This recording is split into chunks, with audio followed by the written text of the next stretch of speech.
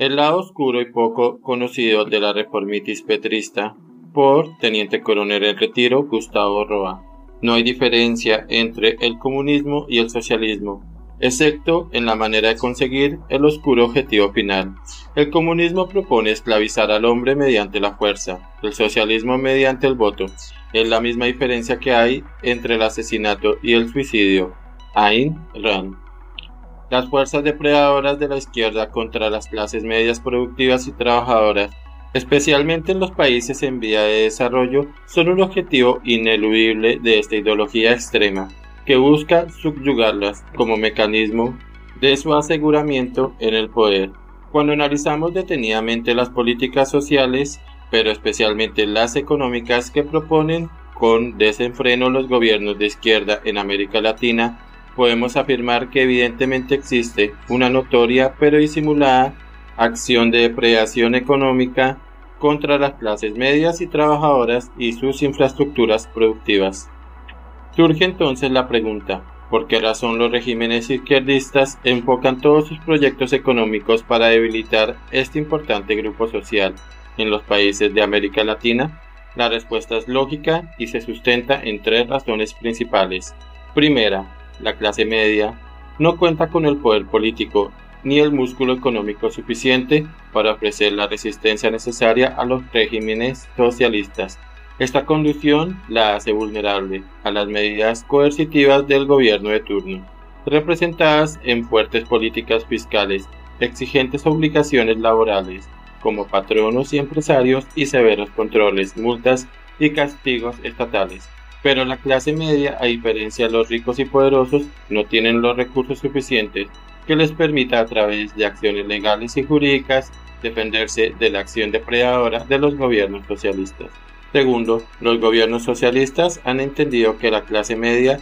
se convertirá en la futura clase emergente, tanto social como económicamente, lo cual puede alcanzar, gracias a sus éxitos productivos, evolución y desarrollo de mercados, generación de empleo y producto de bienes y servicios de alta calidad, y generadores de divisas, convirtiéndose de esa forma en una fuerza socioeconómica muy poderosa que incluso podría desestabilizar los intereses y la hegemonía que persigue con ansiedad el gobierno socialista de turno para consolidar su poder político, económico y social, que lo anclara en el poder irremediablemente, alcanzando el poder omnímodo del Estado. Tercero, mientras los gobiernos de izquierda logren mantener a propósito determinados niveles de pobreza, miseria y factores sociales para el cubrimiento gubernamental de necesidades primarias y esenciales de la población, utilizando el asistencialismo estatal como mecanismo de fortalecimiento de una ideología sectaria pero perfeccionista,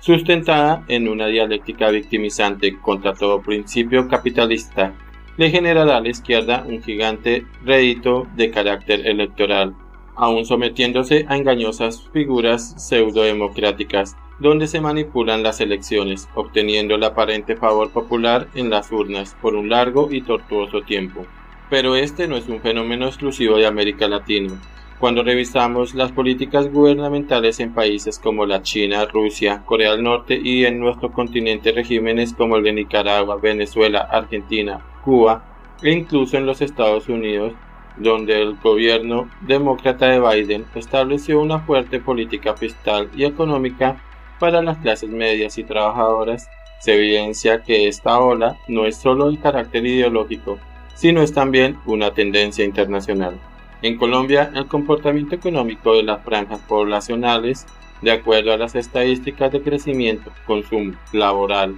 y de producción, han originado un franco debilitamiento financiero de la clase media, ya que este grupo produce las mayores tasas de empleo, producción doméstica, bienes y servicios, mediana industria, actividades agrícolas, forestales y ganaderas, comercialización y distribución de bienes de consumo y otros renglones relacionados con la economía, no solo doméstica, sino internacional. Si revisamos las estadísticas de organismos estatales con relación a los porcentajes en los cuatro segmentos socioeconómicos de Colombia, encontramos que estas cifras muestran un impacto de mayor grado en la clase media, debido al alcance de las medidas que reforman la salud, la educación, la economía y la nueva política fiscal, las cuales han sido diseñadas para castigar con mayor intensidad a la clase media, la cual representa el 26% de la población colombiana. Entre tanto, la clase alta representa el 2% de la población,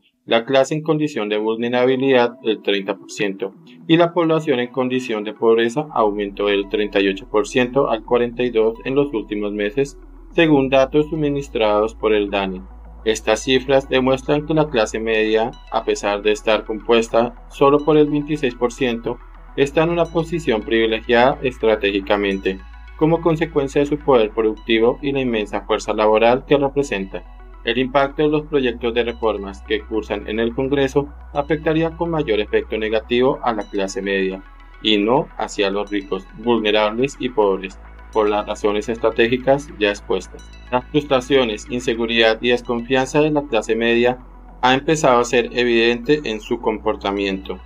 Muchos colombianos generadores de desarrollo terminan alejándose de los países afectados, solo con parte de la infraestructura productiva y del patrimonio que han logrado salvar del devorador poder inquisitorio e impositivo de los regímenes socialistas para sentarse en países con mayor seguridad y estabilidad económica. Pero el golpe mortal para las economías sanas de las clases medias productivas y trabajadoras en Colombia se materializará con el proyecto sobre legalización de las economías ilegales, las cuales gozan del fenómeno económico denominado como la fuente inagotable de recursos, el cual se sustenta de la siguiente manera. Por un lado, el factor de consumo, consumidores, nunca se acabará. Por el contrario, con la legalización se afianzará y podrá crecer sin obstáculos legales. Y por el otro lado, los productores y comercializadores de drogas ilícitas, narcotraficantes, tendrán que incrementar su producción debido a la progresiva demanda que tendrán en el mercado de drogas.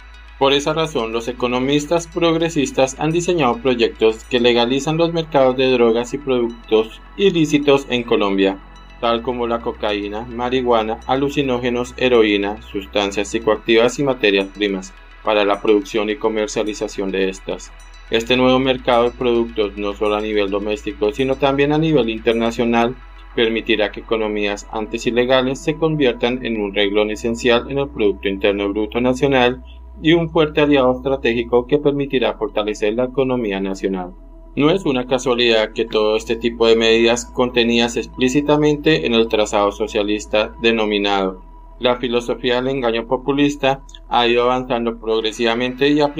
y, aplicado milimétricamente por los gobiernos de izquierda con el propósito de mantener la autonomía política y económica y debilitar cualquier acción por parte de los sectores de oposición política y democrática. Esta estrategia les permitirá a los gobiernos socialistas ignorar las economías productivas de las clases medias y trabajadoras y reemplazarlas progresivamente por economías ilegales. Surgen entonces dos inquietudes preocupantes sobre lo que ocurrirá en Colombia en un futuro no lejano. ¿Cómo reaccionaremos los colombianos ante esta impresionante embestida de la izquierda internacional? ¿Será la clase media trabajadora con toda su infraestructura productiva devorada por la nueva tendencia progresista? Las respuestas las encontraremos en otro interesante tema de reflexión y análisis y el cual hace mención no solo a la fuga de cerebros sino también a la fuga de capitales que hoy se perciben con impresionante rapidez como consecuencia de la afanosa reformitis que se ha propuesto sacar adelante el gobierno, pasando por encima de la institucionalidad,